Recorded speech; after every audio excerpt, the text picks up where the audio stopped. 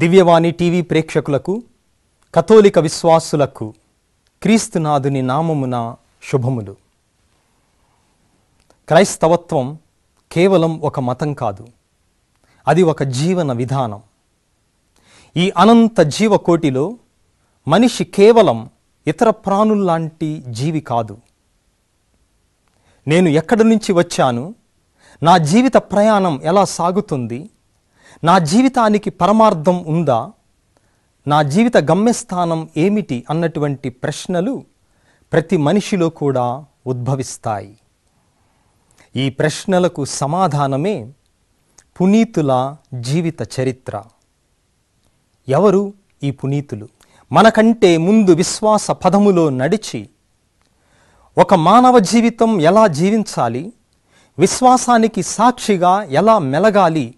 అని మనకంటే ముందు నేర్పించినటువంటి వారే పునీతులు. ఈ పునీతులు మోక్షము చేరారని కథోలిక శ్రీసభ అధికారికముగా ప్రకటిస్తుంది. మనం కూడా ఈ పునీతుల జీవిత ఆదర్శాన్ని చూచి వారి జీవిత ముఖ్య సన్నివేశాలను తెలుసుకొని ప్రేరణ పొందుదాం. వారి మాటలు మనకు ప్రేరణ కావాలి. వారి విశ్వాస పదం మనకు సుమాతృక కావాలి. వారి యొక్క క్రైస్తవ జీవితం మనకు ఆదర్శం కావాలి. కనుక ఈ మన పునీతులు కార్యక్రమానికి మిమ్మందరినీ ప్రేమతో ఆహ్వానిస్తున్నాం.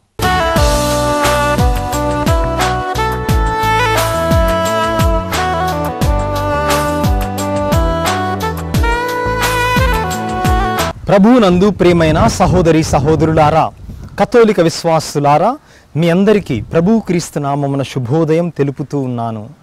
ఈరోజు జూన్ నెల పదహారవ తేదీ. మన తల్లి అయినటువంటి పరిశుద్ధ శ్రీ సభతో మనందరం సంతోషిస్తూ ఏకీభవిస్తూ పునీత జాన్ ఫ్రాన్సిస్ రేజిస్ గారి పండుగను కొనియాడుతూ ఉన్నాము. వీరు ఫ్రాన్స్ దేశంలో పదిహేను వందల తొంభై ఏడవ సంవత్సరంలో జన్మించి పదహారు వందల నలభైవ సంవత్సరం వరకు జీవించారు. అత్యంత ధనవంతుల కుటుంబంలో జన్మించినప్పటికీ చిన్నతనము నుండి దైవభక్తిని ఏమాత్రం కూడా విడనాడలేదు. తాను ఒక గురువుగా అభిషేకించబడిన తరువాత అన్యాయంగా అక్రమంగా పీడింపబడుతున్నటువంటి వ్యవసాయ కూలీలను బందిపోటులను కర్మాగారాలలో పనిచేసేటటువంటి వారి యొక్క హక్కుల కోసం ఈయన పోరాడి వారి తరపున అనేక కష్టాల పాలయ్యారు. ఈ విధముగా తన జీవితం మొత్తం బడుగు బలహీన వర్గాల వారిని ఉన్నత స్థితికి తీసుకురావటం కోసం వీరు శ్రమించారు.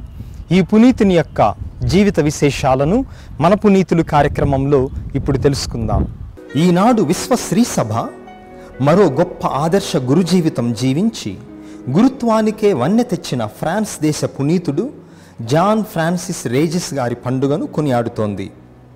పునీత జాన్ మరియ వియాన్ని గారి జీవిత ఆదర్శ స్ఫూర్తితో దైవ సేవకు అంకితమై పేదలు వ్యాధిగ్రస్తుల సేవలో నిరంతరం తన్మయం చెంది సేవలందించిన పవిత్ర చరిత్రుడు పూజ్య గురువు పునీత జాన్ ఫ్రాన్సిస్ రేజిస్ గారు.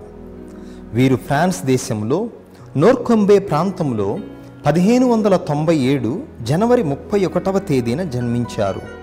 వీరి తండ్రి జీన్ ఆ ప్రాంతంలోనే గొప్ప పేరెన్నిక గల వ్యాపారవేత్త. తల్లి మార్గరేట్ గొప్ప దైవభక్తురాలు. సిరి సంపదలతో తొలతొలుతున్న వీరి కుటుంబం దేవుని పట్ల అపారమైన భక్తి విశ్వాసాలు కలిగి ఉండేది.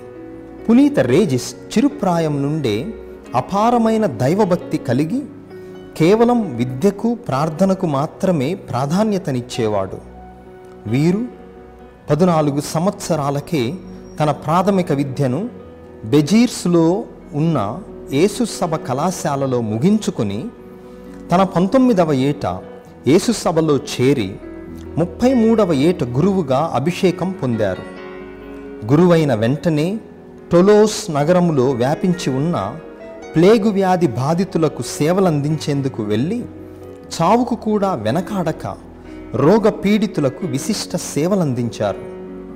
ఆ తరువాత తరచూ జరుగుతున్న మత యుద్ధాల కారణంగా చితికిపోయి అవినీతిలో అనైతిక జీవిత విధానాలతో కూరుకుపోయి ఉన్న దక్షిణ ఫ్రాన్స్ ప్రాంతంలో గ్రామీణ పేద రైతులకు అండగా నిలిచి అవిశ్రాంత సేవలందించేందుకు బయలుదేరారు. తమ సభ అధికారుల ఆదేశాలను జవదాటక తన మరణ పర్యంతం వరకు వారి మధ్యనే మిషనరీ సేవలందించారు. వీరి గురు జీవితానికి ఆదర్శ స్ఫూర్తిదాత పునీత జాన్ మరియ బియాన్ని గారు. వారి గురు అడుగుజాడల్లోనే నడుస్తూ పెత్తందారులు దోపిడీ వ్యాపారవేత్తల మోసాల నుండి పేద రైతులను పిల్లలను కూలీలను నిర్భాగ్యులైన యువతులను కాపాడేందుకు వారికి నైతిక విలువలు బోధిస్తూ మంచి జీవితంలో అభివృద్ధి చెందేలా ప్రోత్సహించేవాడు. వీరు అతి సాధారణమైన పల్లె మాటలతో ప్రభువాక్కును బోధించేవారు. కేవలం రెండు నల్ల రొట్టె ముక్కలతో నీళ్ళతో కడుపు నింపుకుంటూ పేదలలో నిరుపేదగా జీవించారు. వీరు మహాశక్తి గల ఉపన్యాసాలతో ఎందరో ప్రొటెస్టెంట్లను కథోలిక విశ్వాసం వదలి వెళ్ళిన వారిని దొంగలను వ్యభిచారులను పశ్చాత్తాపం చెందేలా చేసి ఎందరో పతితులలో పాపులలో పరివర్తన కలిగించి కథోలిక విశ్వాసం స్వీకరించేలా చేశారు. వీరిలో వీరి మాటల్లో చేతల్లో ఎందరో అభాగ్యులు దేవుని అనురాగాన్ని ప్రేమతో ఆదరించే తత్వాన్ని దయతో క్షమించే గుణాన్ని ప్రత్యక్షంగా చూశారు. వీరి ప్రసంగాలు మాటలు వినేందుకు ప్రజలు తండోపతండలుగా వచ్చేవారు.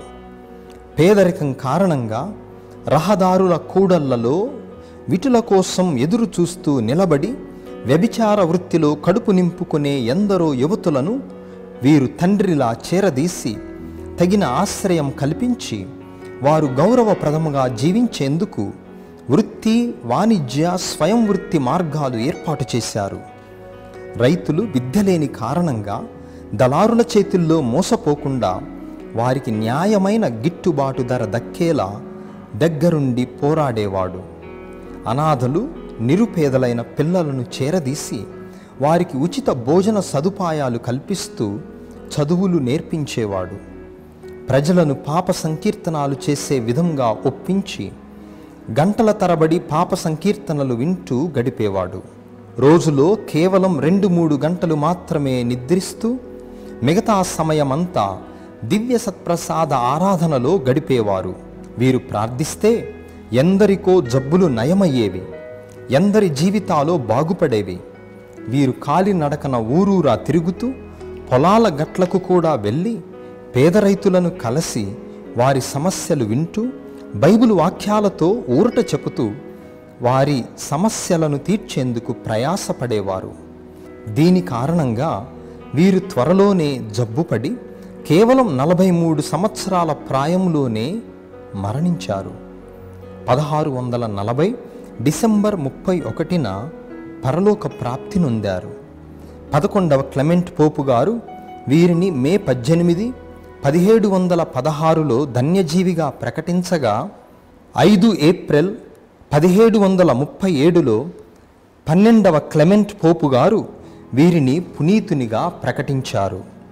ఈ విధముగా ఒక గురువుగా పేదల కోసం అభాగ్యుల కోసం తన జీవితాన్ని వెచ్చించి తన యొక్క ప్రాణాన్ని కూడా ధారబోసినటువంటి ఈ గొప్ప పునీతుణ్ణి మన కోసం ప్రార్థించమని ఇప్పుడు వేడుకుందాం. ప్రార్థించుదము. కరుణకు నిలయమైన ఓ సర్వేశ్వరా పునీత జాన్ ఫ్రాన్సిస్ రేజిస్ గారిని కథోలిక తిరుసభలో ఈరోజు మేము స్మరించి వారి యొక్క దివ్య జీవితము ద్వారా ప్రేరణను పొంది ఆ పునీతుని యొక్క అడుగుజాడలలో మేము నడిచే శక్తిని ప్రసాదించినందుకు మీకు కృతజ్ఞతలు. వీరిని తిరుసభలో అత్యున్నతమైనటువంటి గురువుగా ఆదర్శవంతమైనటువంటి గురువుగా మీరు లేవనెత్తితిరి తద్వారా తన గురు జీవితములో రోజువారీ కూలీలను రైతులను అన్యాయానికి గురైతున్నటువంటి వ్యవసాయదారులను వీరు తోడు నీడగా నిలిచి వారి తరపున పోరాడేటటువంటి శక్తిని అధికారులను పీడితులను ఎదిరించేటటువంటి శక్తిని వీరికి మీరు ప్రసాదించితిరి.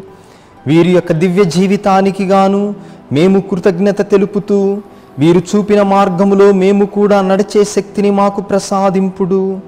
మానాదుడైన క్రీస్తు ద్వారా ఈ మనవి చేయుచున్నాము ఆమెన్